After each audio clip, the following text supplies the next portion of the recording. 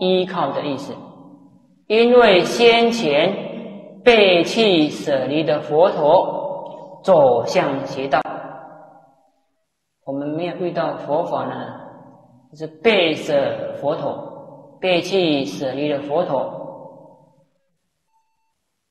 走向邪道了。现在要回转，依靠佛陀的教导，走向光明的正道。所以，只要是皈依于佛陀的人，但是皈依于佛，即为佛之弟子。不论是在家出家，就是成为一个佛陀的弟子。既为佛子，既然成为佛陀的弟子，修学学佛修行。即应恒修此八种觉，就应的，就应当昼夜六时，恒常修习这八种自觉觉他之法门。修此八种觉，言常于昼夜者，说到恒常在昼夜六时的情形呢，明其功无间断。说明他这位佛弟子身口意业所用的功夫，诵念修习八大人觉，没有间隔，没有断绝，不懒惰，不放逸，不懈怠，所以名其功无间断。言自心者，说到用自成心的情况呢？明其亲切真诚，说明他这位佛弟子十分的亲善恳切，真心诚实。他很真诚要修学佛法，言诵念者，说到口诵心念，能够背诵意念，诵念，明其文艺纯熟。这个“纯”呢，同于“纯”，三点水一个享用的“享”，同这个“纯”，引申有浓厚的意味，说明他对于八大人觉的经文义理有精纯浓厚的熟悉度，对于文艺呢很纯熟。记忆不忘也，能记住，能记事，能够记事意念在心中而不忘失。八大人觉，八种诸佛菩萨大人之所觉悟，是现结叹文中，为佛弟子所自心诵念的八大人觉这一句。四个字，解释显现在第三科结叹总结赞叹八大人觉这一段经文之中，视线结叹文中是第三科了，在结叹的文中，二别名即为八即。哎，出无常无我觉，科第二别名即为八，第二科个别说明八大人觉，就分为八段，即为八，分为八段。出无常无我觉，最初世间无常，五蕴诸法无我之觉。经文。第一觉悟：世间无常，国土为脆，四大苦空，五蕴无我，生灭变异，虚为无主，心是恶缘，行为罪所，如是观察，见离生死。第一觉悟，在此之下，个别说明八大人觉。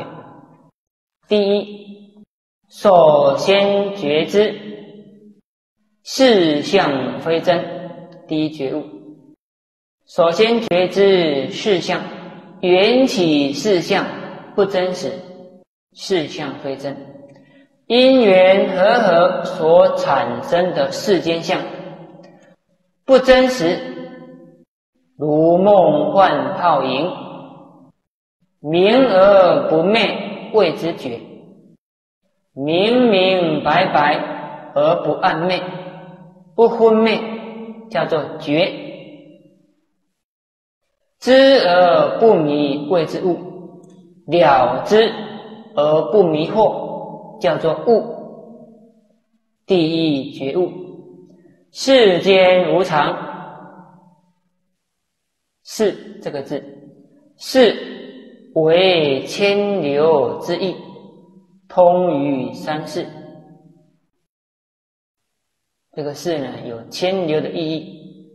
通于过去式、现在式、未来式，千变流动。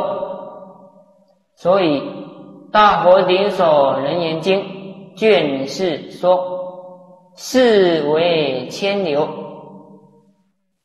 气世间、有情世间，都是千变流动，无常破坏之相。”先说气世间，我们的依报国土，我们我们住的这个世界啊，气世间有成住坏空，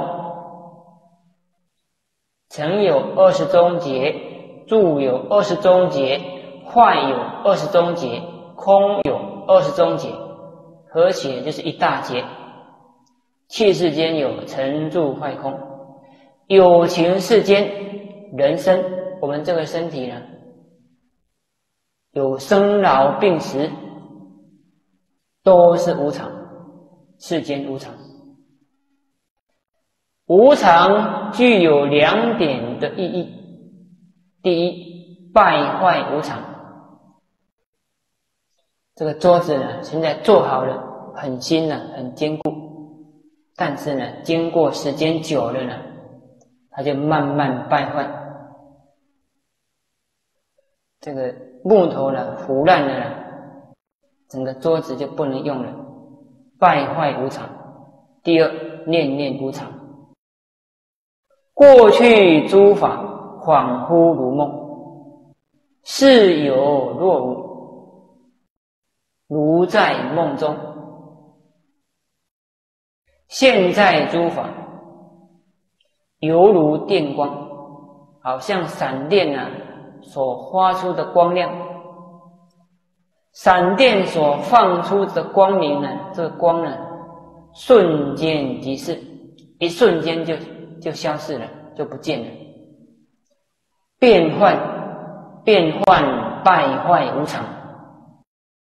未来诸法如云忽起，未来的一切诸法呢，如同空中的云朵，忽然升起。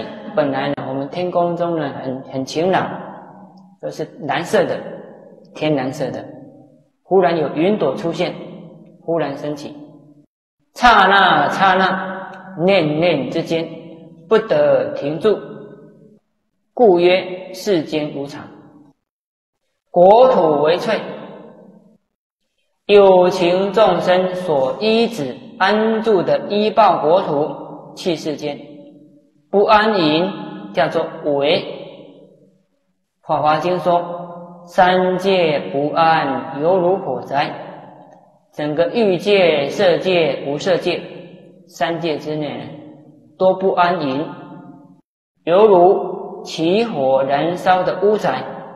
不安隐叫做为，国土为。虚浮曰翠，虚浮不实叫做翠。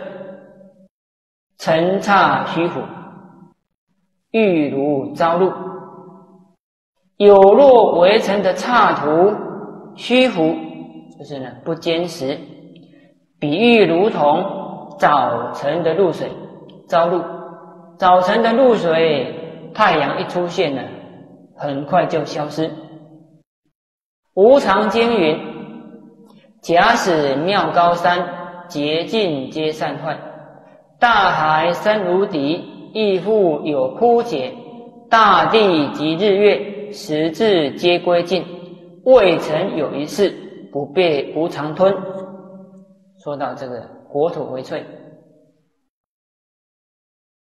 无常经说：假使妙高山，妙高山呢，就是须弥山。假使须弥山这么高大的山呢？劫尽皆散坏，劫到了坏劫的时候呢，坏劫将要尽的时候呢，它都散坏。这个世界有成住坏空四个终结，叫做一大劫。到了坏劫将要穷尽的时候，成劫、住劫、坏劫，这个坏劫呢将要穷尽的时候，世间有。本来是一个太阳嘛，这时候呢，先出现两个太阳。根据呢《增一阿含经》卷三十四，《优婆塞戒经》卷七，有两个太阳，三个、四个、五个、六个，到了七个，七个太阳同时出现，从两个呢。乃至到七个太阳同时出现，我们现在这个夏天的时候呢，一个太阳我们就快受不了了。两个，两个太阳，哦，已经已经很热了。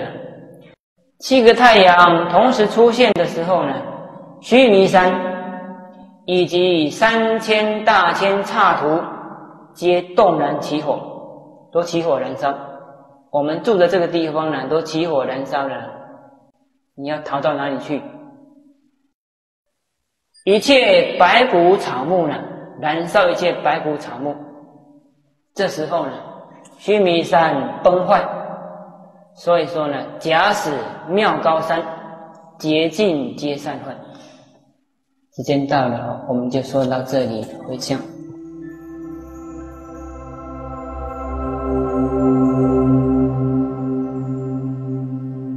圆通寺位于普里，三面环山。灵秀所中，堪称为清凉佛地，是修行之圣处。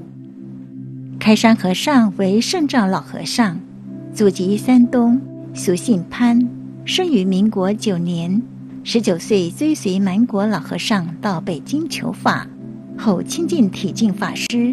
二十二岁依止出家，二十七岁于湖北武昌普渡寺受具戒。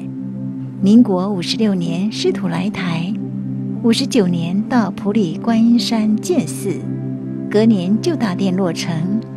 季涛律师提议以《楞严经》根选择圆通，入流成正觉之修行要旨，决定寺名圆通，作为十方南众道场，以持戒念佛为宗风。继任住持为果清律师。上果下清律师，民国七十六年以后，相继在净律寺、德山寺、莲音寺、义德寺、南普陀佛学院等寺讲说为是、菩萨戒、梵网经菩萨戒和比丘戒，期间并数次闭关专治弥陀，潜修波州三昧。律师是台湾持戒严谨、威仪具足的律宗大德。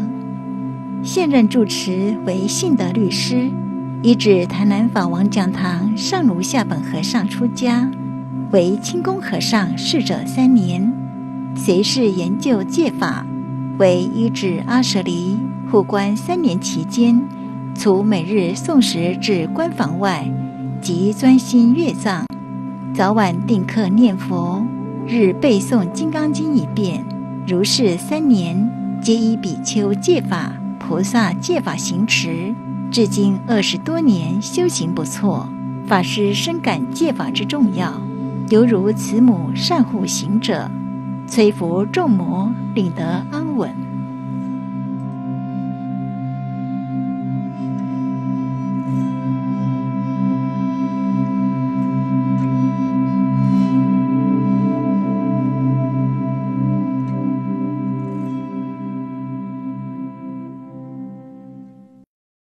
护持中华护生协会，邮政划拨户名中华护生协会，划拨账号四二一三八四八三四二一三八四八三，银行账号银行代号土地银行零零五，账号零一二零零一一九五六七九。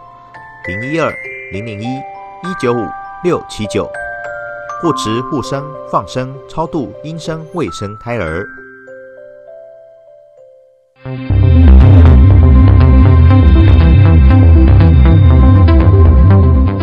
大家好，我是石药署署长吴秀梅。目前陆续核准家用 COVID-19 检验试剂产品，民众会当到药房、药妆店才会合法通路来买。买时阵要注意外口的防疫专案核准二号甲效期，要真少看过说明书，双手洗清气，才来进行采检。采检了后，将使用过迄支采检滴甲试剂用塑胶袋密封包好。店数隔离也是检验者，采检结果若准是阳性，请联络在地卫生局也是卡一九二二。其他民众采检若准是阳性，请莫去坐大众运输，赶紧去社区采检艺术检验，并且早塑胶袋密封好势采检器材和艺术人员。采检结果若准是阴性，塑胶袋密封好势采检器材当作一般粪扫处理，并且遵守防疫规定，继续自我健康管理。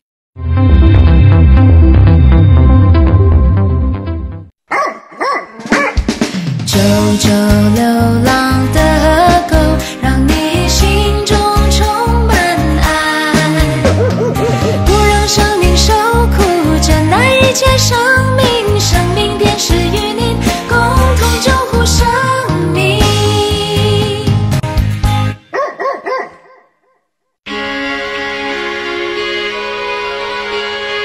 接下来，请收看空中佛学院。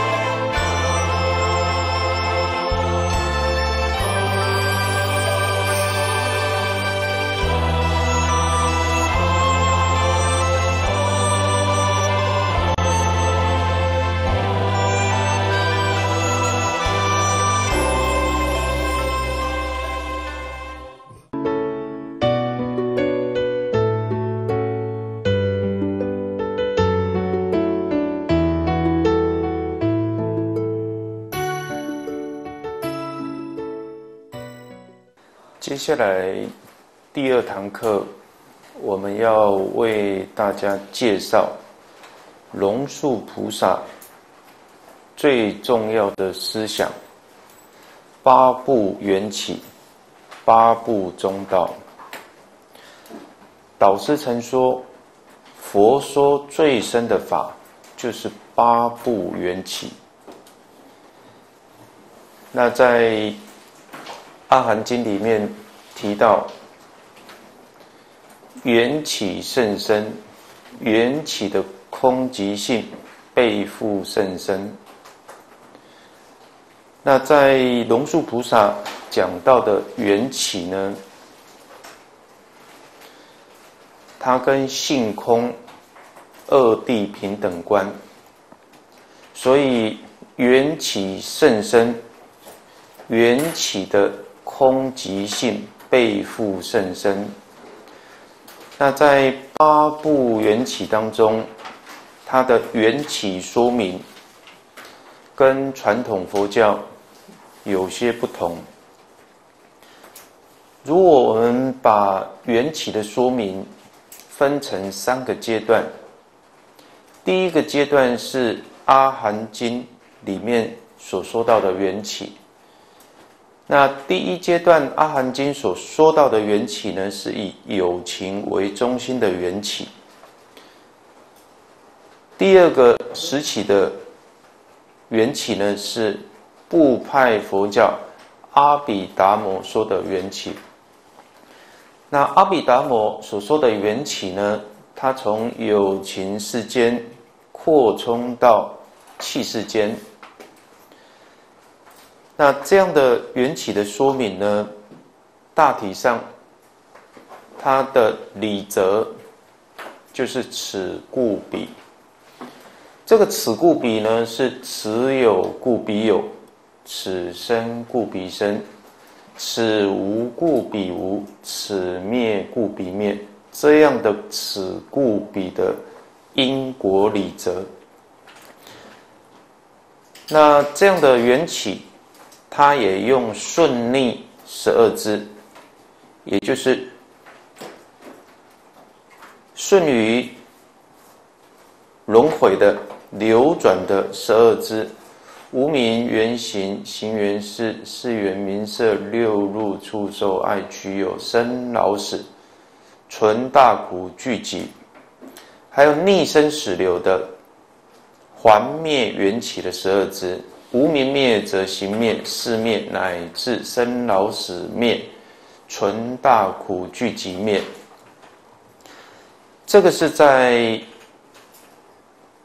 阿含经及部派佛教所说的缘起说，龙树菩萨大圣的缘起说八部缘起，他是用否定的方式，不生不灭，不长不断，不依不异，不来不去，用否定的方式来呈现诸法的实相。来呈现缘起性空的正见，也借缘起性空来驳斥一切邪见。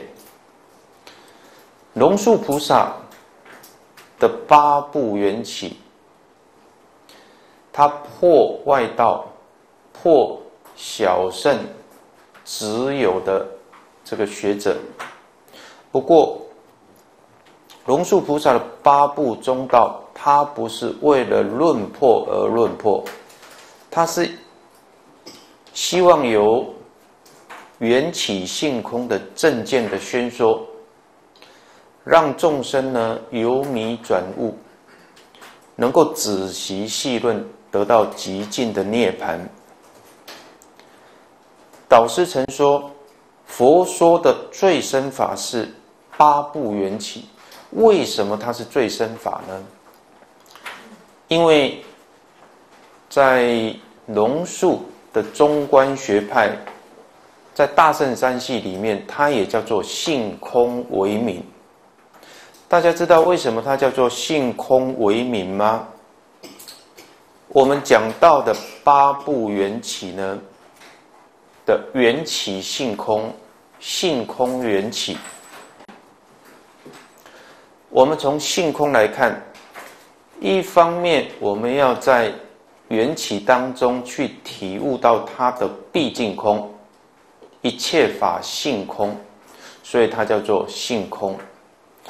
那一方面呢，又要在缘起法当中去了知它是假名有，所以它是伪假名。在缘起法当中的一切法，都是假名而有。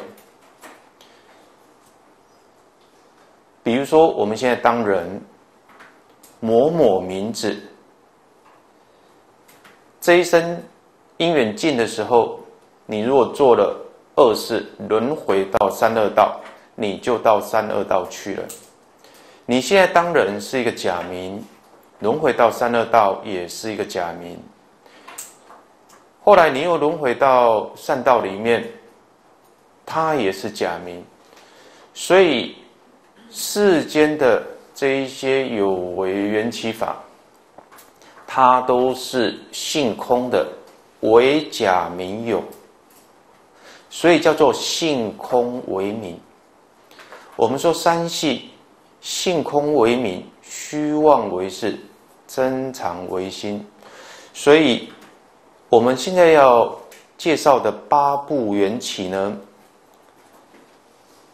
也也就是说，要让我们体悟缘起法当中，体悟到它的性空，缘起性空，性空缘起。一方面要呃体悟毕竟空的性空，一方面要了知这个假名有。那性空的假名缘起的性空，在八部缘起当中开示了佛的呃这个解脱的真实性。那我们愚痴的众生呢，因为不了解因果罪福，凡夫波无一切，波无因果。那另外呢？有人不理解缘起性空，主张三世实有有实法，升起什么呢？我见跟法见，那这一些呢，都是我们轮回的根本。那龙树菩萨，他主要思想的特色呢，前面有提到，他能够。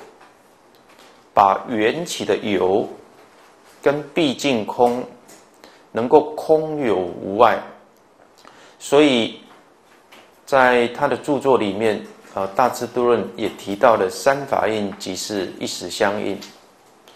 在龙树学的特色里面，八部中道空有无碍，深观广行。刚才提到的缘起性空，他也把《阿含经》里面的空相应缘起，缘起即是空诸行的深意表现出来。那还有呢？呃，我们上次有提到的缘起空假名中道。中论里面提到因缘所生法，我说即是空，意为是假名，亦是中道义。缘起的即空即假即中。那另外呢，提到的，呃，我们众生对法的执着有法执。对我的执着呢，有我执，所以我们讲到的四门不生。好，那在龙树学呢，它有许多的呃生的义理，比如说前面提到的大小共贯、真俗无碍、悲智圆融。空有融会等等，那这些内容呢？呃，其实呢，在八部缘起、八部中道的思想里面呢，也可以呈现出来。那我们在进入今天的主题之前呢，我们先补充几个内容。那第一个呢，呃，我们会在。我们这份讲义呢，补充龙树菩萨的著作。前面提到说，龙树菩萨呢，他的著作大略分成两类，一个是深观，一个是广行。其实他的著作呢，呃，种类非常多哈。那这边呃，有稍微把它归类两个图表。那第一个图表是我们课本里面还有汉译呢提到龙树菩萨的著作，那它大概有几类呢？啊，它有破小圣、破外道，还有释论，比如说大智度论，还有十住毗婆沙论，啊，它是四经的四论，还有提到跟呃政治思想有关的。呃，的一个著作。那龙树的著作呢？他在汉译藏经的昭和法宝总目录里面，在提到印度朱论师的著作的时候呢，呃，他把龙树的著作呢，大概归类有二十四种左右。另外，在东北目录，呃，在藏译的藏经里面，龙树菩萨的著作呢，更高达了大概一百一十三种以上。那刚才提到说，除了我们汉译，我们做了一个图表，在西藏对龙树菩萨的著作呢，呃，有两位学者，呃，有做了一个归类。那一个是马甲巴的分类法，第二个是布顿的分类法，这两位学者。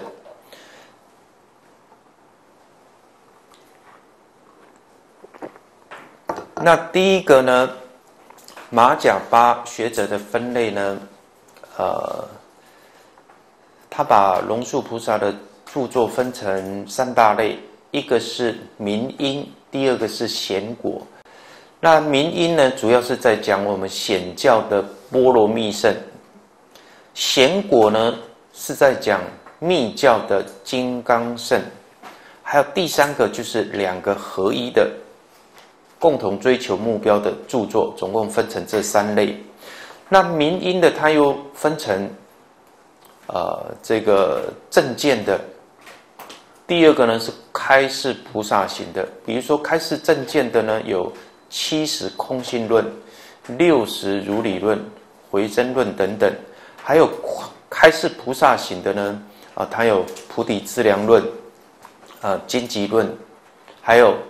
呃，这个正见跟菩萨行并重的，那显果的呃金刚圣呢，啊，他要提到这个五次第，这是第一类马甲巴的分类。第二类是布顿的分类，布顿的分类呢，他把龙树菩萨的著作呢分成六大类，第一个是内明，第二个是密圣，第三个一方明，第四个是修身格言，啊，他对民众啦。大臣的开示，那还有呢？工巧明，工巧明有这个和合香法啊，在在那个西藏啊，他很注重那个制作那个香哈，还有炼金术啊。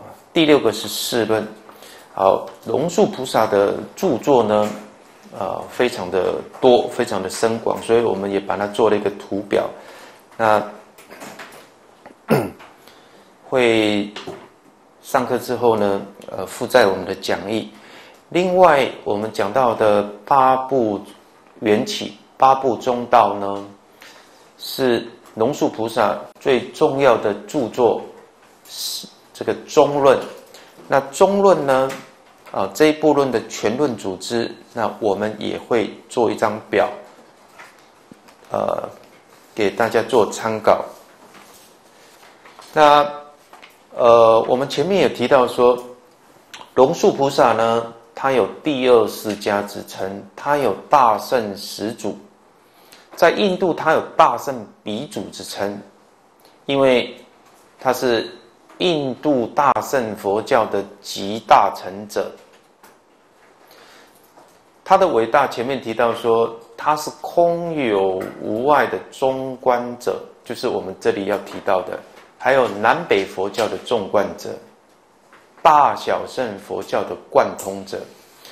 前面提到呢，龙树菩萨是八宗共主啊，他在中国呢，他叫做八宗共主。他为什么被称为八宗共主？那这里呢，稍微跟大家叙述一下。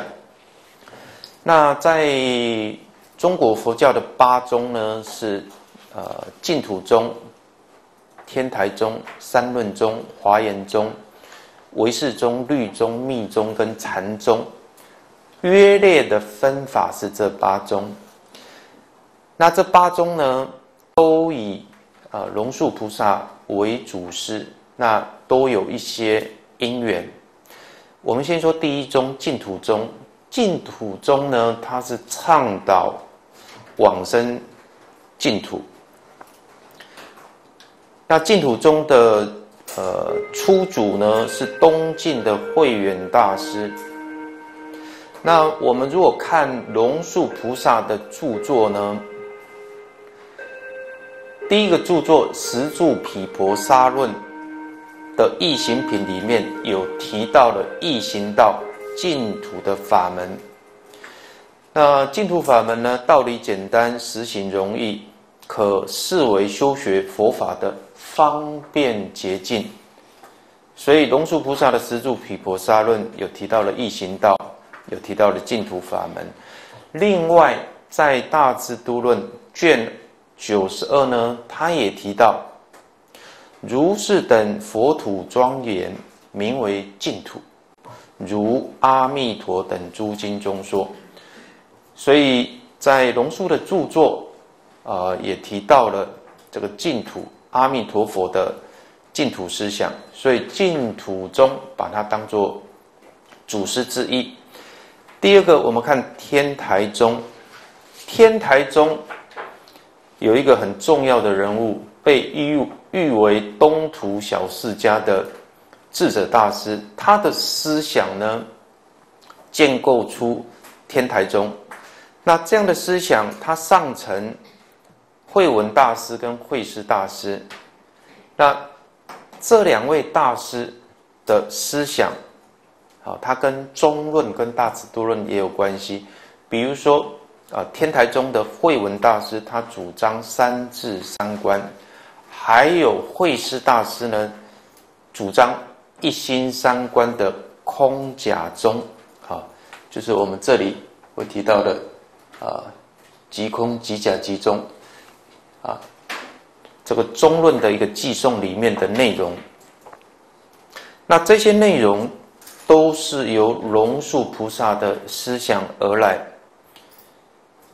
此外，天台宗智者大师在观心论，他也提到说，他自己是归命龙树师，所以天台宗也把龙树菩萨当做祖师。第三个是三论宗。那三论宗是由呃嘉祥吉藏大师所开创的。那他的三论宗的思想体系呢，呃，更是以龙树菩萨的中论、十二门论，还有龙树菩萨的弟子提婆的百论，作为他的思想依据。那第四宗是华严宗。啊，华严宗的初祖呢是呃杜顺和尚。华严宗的根本经典是什么呢？华严宗的根本经典就是《华严经》。那龙树菩萨他的著作呢，《十住毗婆沙论》就是对《华严经》实地啊实地品加以注释的，所以。龙树菩萨呢，也被华严宗啊列为祖师之一。那另外唯识宗，唯识宗呢是由唐代的玄奘大师所开创的。那唯识宗的瑜伽瑜伽行派呢，他也推崇龙树菩萨的中观思想，因为。呃，唯识的修行者，他们也认为，他们的思想跟般若思想是有关的。比如说，在唯识学当中的三性的思想，片计所执性、依他起性、缘成实性，他们认为，啊，他是从啊龙树菩萨二谛理论。开展出来的三性思想。此外呢，唯识中所中医的这个解生密经的唯识论点，那他对二谛的理解啊，也认为说跟般若以及龙树的思想呢是相近的。此外，呃，唯识学者呢，呃，欧阳靖武他也认为。龙树的思想当中，他也有提到法相的一面，所以唯识宗也以龙树菩萨呢为祖师。第六个是呃律宗。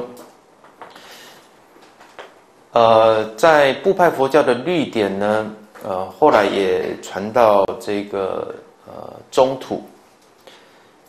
那这些律典呢，呃，比如说有部的律，呃，龙树菩萨也在这个呃有部出家。然后呢，大圣经刚才提到说，龙树菩萨是呃大圣经的啊大圣经典的集大成者。所以在大圣里面的呃一些律典，呃也跟龙树菩萨有关。那在生佑大师呢，他也将龙树菩萨视为律宗的西方祖师之一，他把它列为第三十四代祖师，所以律宗也把龙树菩萨呢当祖师。第七呢是八宗当中的密宗。那我们知道说，传说龙树菩萨呢曾开铁塔，啊，向金刚萨多菩萨请出秘法。那他请出秘法之后呢，秘法才开始在人间流传。所以呢，龙树菩萨呢理所当然也是啊成为。密教的一个祖师。另外，在我们唐朝里面有提到开元三大士之一的金刚智。这个金刚智，他提到说自己的老师是龙智，那龙智呢，就是龙树的啊龙树菩萨的弟子，所以密宗呢，也以龙树菩萨啊为祖师。那八宗的最后一宗是什么呢？唯识宗，啊，禅宗啊。那禅宗呢，把这个龙树菩萨呢归为印度禅宗第十四祖。那如果我们看呃禅宗的祖师呢，第四祖道信大师，他曾劝人但念摩诃般若波罗蜜多。啊，这个是般若思想，五祖的弘忍，那他也普劝生熟读诵《金刚般若波罗蜜经》，还有什么呢？六祖慧能，他也是因《金刚经》而悟入，所以禅宗跟般若经之间的关系非常的密切，所以，呃。禅宗呢，也把龙树菩萨呢啊列为祖师之一。那这个是提到龙树呢，呃，龙树菩萨呢，他是在印度被称为大圣的始祖，大圣的鼻祖。在中国呢，他他被称为八宗的共主。好，那我们今天呢，要。呃，这节课呢，要为大家介绍的是龙树菩萨最重要的思想之一——八部缘起、八部中道。前面提到说，《阿含经》跟部派佛教所说的缘起呢，它主要用呃说明、呃肯定的方式来说明。但是，龙树菩萨呢？这里他用破邪来显正的方式。其实我们这边看到的，好像他用破的方式。其实呢，八部缘起有破有立。那破呢，就是破众生的自信见；立是什么呢？我们说。性空缘起，在性空当中不离缘起，好，这安立了在空中安立啊，这样的呃正见的一个法。那不论是在我们汉译佛教，或是呃藏译的佛教呢，这个空正见非常的重要，性空的正见。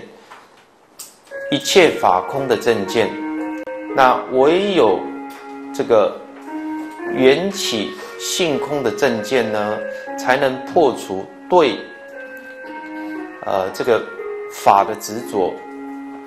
那我们对一切法的执着呢，可以分成两个部分。我们在进入这个主题之前呢，我们先知道说众生的执着所在。那在这里呢，龙树菩萨说，众生的执着呢，叫做自信执。自信执也可以叫做自信见。那自信是什么呢？自信呢，呃，就是对我们认知的法，认为有常住性、独一性。自有性、实在性、不变性、独存性。自信呢，大概有三个意思。刚才提到的自由性、独一性跟常住性。世间的有为法呢，其实没有常住性，没有独一性，没有自由性。世间的一切法都是因缘和合而生，因缘和合。啊，而灭去，因缘和合而生，因缘离散，它就灭气。没有一个常住性，没有常住不变，没有独一性，没有自由性。但是呢，众生只有独一常恒不变，那就产生自信值。那。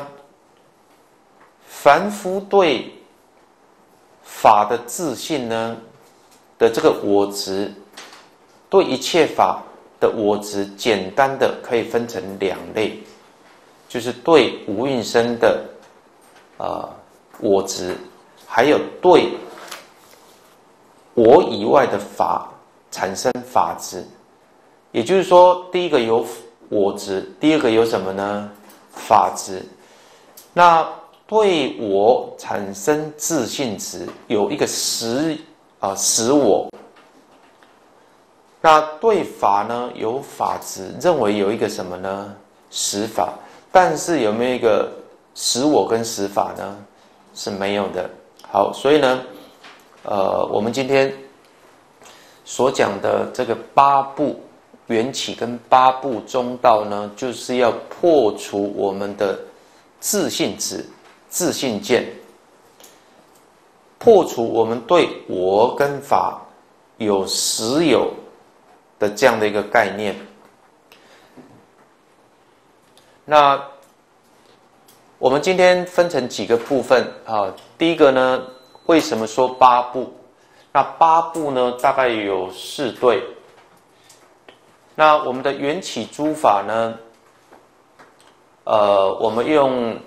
这个四对否定的方式，否定众生对这个八法的自信值。那这个八法当中呢，它是生灭、长断、一义跟来去。那我们在对生灭、长断、一义、来去呢产生自自信值，所以呢，第一对呢是不生不灭。破生与灭的自信值。第二呢是不长不断，破长与断的自信值。第三个呢是不一不异，破一跟异的自信值。不来不出呢是破来跟去的自信值。那只要是法的存在，它就是一个现起，现起一定会落入时间空间。落入时间跟空间的法，它一定会有运动。好，所以呢，这边也会提到自信见，它在四个地方产生，产生了常见、断见、一见、意见、来去值、生灭值。因为我们有这个自信值，对法它是假有，我们认为。它是实有，它是不变，它是独存。那产生的自信值导致于我们轮回，所以我们用这四个内容呢来说明啊，这个叫有时空洞。刚才提到的八部呢有四对，我们先说明哪四对呢？就是这里的生灭、长短、一义跟来去。之后呢，我们在最后面呢会提到了八部，啊，这边是生灭。好，乃至于来去来出的说明，那八部这里呢，啊，它就说明不生不灭、不长不断、不依不异、不来不去的内容。那为什么会啊可以用八部来说明我们的缘起法？缘起应该是生灭的，为什么我们在生灭当中要去体悟到诸法的不生不灭？这里我们提出了五说：清目论师、清辩论师、中国的古三呃古三论师、月称论师，还有导师的说法。好，另外呢，在龙树菩萨呢中论里面的最重要的寄送“因缘所生法，我说即是空，意为是假名，亦是中道义”的这个寄送。它的四个内容：缘起空假名中道，缘起空假名中道，它彼此之间的关系，我们这边也做了一个表，啊，综合的来跟大家做说明。我们先看到今天的主题八部中道的八部，为什么龙树菩萨要说八部？那因缘所生法，因为。这个八部刚才提到说，这个八个法就是生灭断常一义来去来出，它是在当时啊，这个印度当时呢，外道细论的焦点，乃至于有所得的小圣细论的焦点，对于这个八个法有错误的认知。那龙树菩萨为了破邪显正，令众生转迷成悟。所以呢，说了这个，呃，大圣的八部中道。八部的部是否定的意思，那个部是否定，啊，那要明了这个八部呢，要知道所部的八事，那所部的八事呢？两两相对呢，分成四对。那一这个八部，它主要要说明的内容就是缘起。那它开示了缘起的中道，所以我们说八部呢，有时候说八部中道，或是八部缘起。刚才提到八部呢，分成四对。八部分成四对，那这四对呢，就是啊不生不灭第一对，不长不断第二对，不依不异第三对，不来不出，不来不出也叫做不来不去啊。那我们说，呃，友情的运动啊，我来这里去那里啊，有来有去。这个出呢，也可以说是去的意思。那说这个是对呢？刚才提到说，主要要破生跟灭的自信值。这八步当中，它可以总破一切的邪执，总破一切错误的知见。那再略说的话，它只要一步。它就破一切法，你只要了知一步的内容，就可以破一切法。那再说个更简单一点，你只要了知世间的有为诸法的缘起法的任何一个法，比如说打比方好了，我们说人，